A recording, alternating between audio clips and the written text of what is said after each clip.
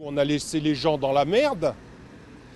Et maintenant, d'un seul coup, il y a les JO, on se réveille, euh, ah ben il faut faire quelque chose. Mais on n'inclut pas les habitants.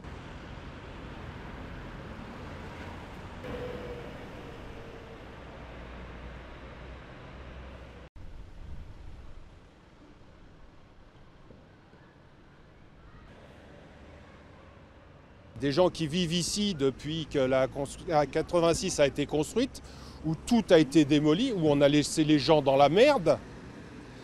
Et maintenant, d'un seul coup, il y a les JO, on se réveille, euh, ah ben il faut faire quelque chose. Mais on n'inclut pas les habitants de base dans les discussions. Non, eux, on leur dit, c'est pas l'heure, attendez. Et on construit de très beaux projets qui, dans 15 ans, seront peut-être très sympathiques. Mais à l'heure actuelle, on va enfumer un peu plus les autochtones de base.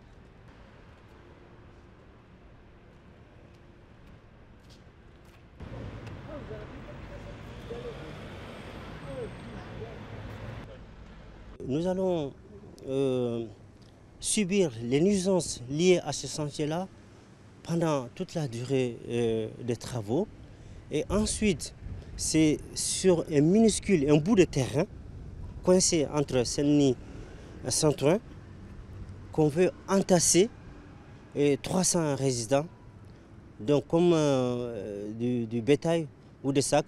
Donc c'est vraiment inacceptable, c'est humiliant.